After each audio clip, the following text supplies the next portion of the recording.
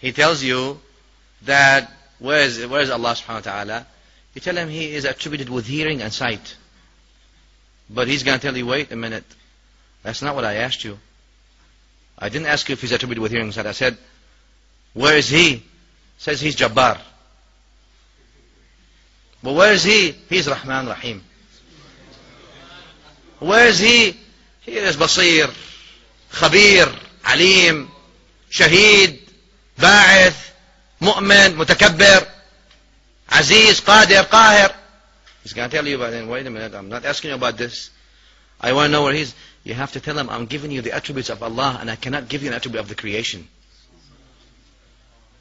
These are His attributes. You want to know about Allah? Here's His attributes. Where would indicate you want me to give you a creation, Allah is in a place, Allah is not designated with a place. Then you tell him Allah exists without a place. Because He's not in need of a place.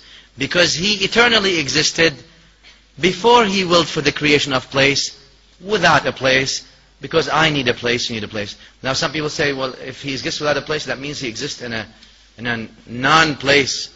Uh, that, that can't, that's impossible. The reason it's impossible in their minds, because for them, they think Allah is like the creation. The creation cannot exist without a place, so therefore they say Allah doesn't exist without a place. But we say Allah exists without a place because He eternally existed before the place.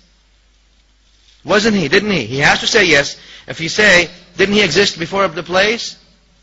He will say either yes or no.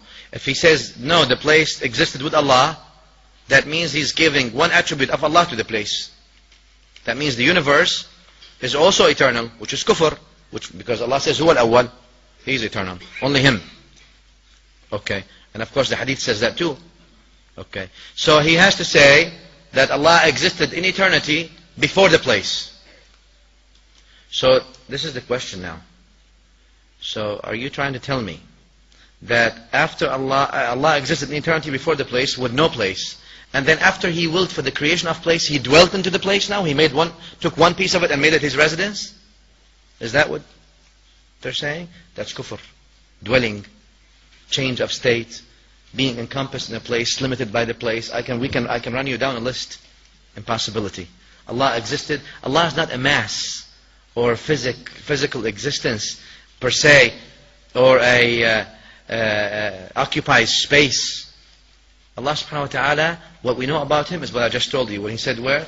سميع بصير عليم خبير هو المؤمن والمتكبر والعزيز والجبار سبحانه وتعالى عما يشركون we believe in Him with His attributes of perfection and we clear Him from attributes of non-perfection which are by definition attributes of the creation. They are imperfect.